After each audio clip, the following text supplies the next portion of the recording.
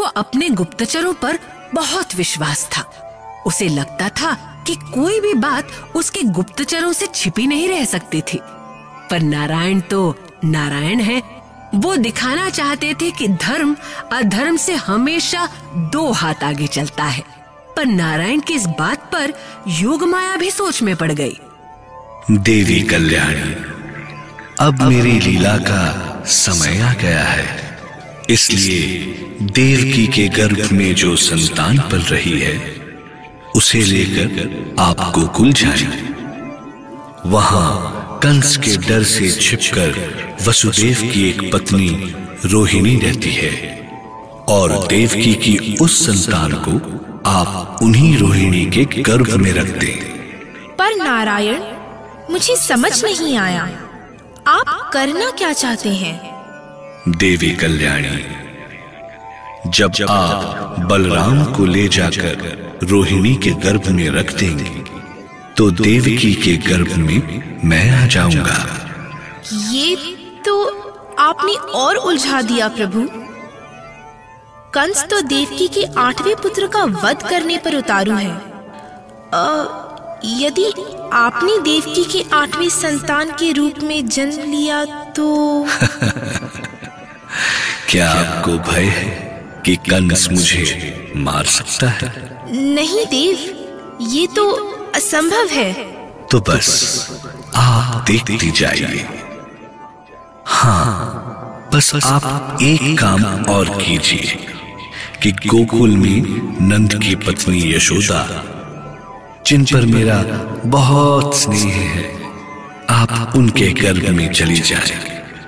भगवान विष्णु की इस पहेली को योग माया भी समझ नहीं पाई, पर उन्होंने किया ठीक वही जो श्रीहरि विष्णु ने उनसे कहा। वो जाकर यशोदा माता के गर्भ में एक प्यारी सी बच्ची बनकर पलने लगी और फिर अष्टमी की वो रात आई, जन्माष्टमी, यानी हमारे गोपाल के जन्म की रात।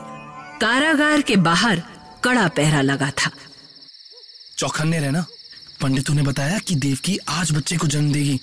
कहीं कहीं भूल चूक हो गई तो? भूल चूक? पागल हो क्या?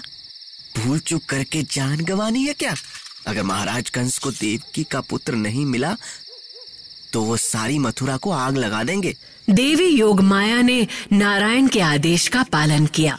पर जब योगमाया देवकी के गर्भ में पल रहे बलराम को वहाँ से लेकर रोहिणी के गर्भ में डाल आई तो अचानक देवकी को लगा जैसे उनके गर्भ में कुछ हुआ है। सुनिए सुनिए मुझे कुछ अजीब सा लग रहा है। क्या? क्या कह रही हो तुम?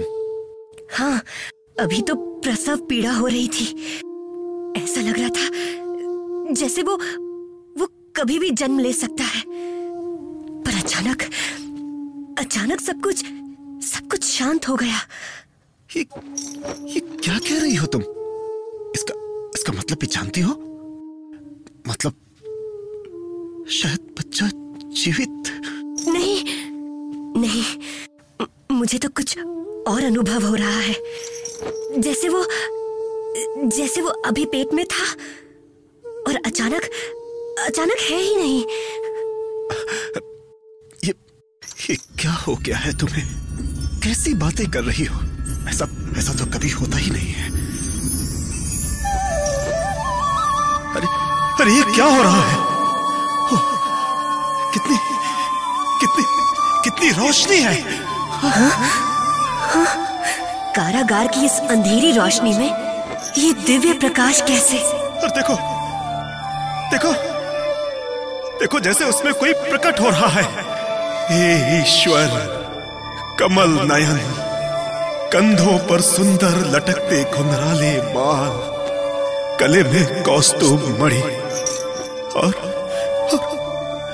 और विशाल सुंदर श्याम काया पर पीतांबर।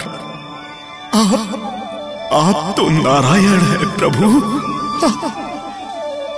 आप तो आप तो नारायण है प्रभु।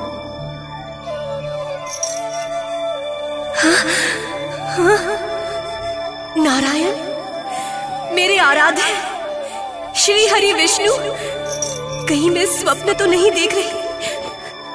वसुदेव माता देव की आप जो भी देख रही हैं वो बिल्कुल सत्य है। ये मैं ही हूँ आपका नारायण। नारायण? हे प्रभु!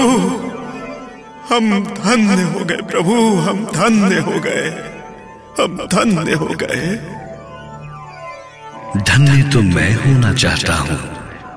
आप जैसी नारी की संतान बनकर।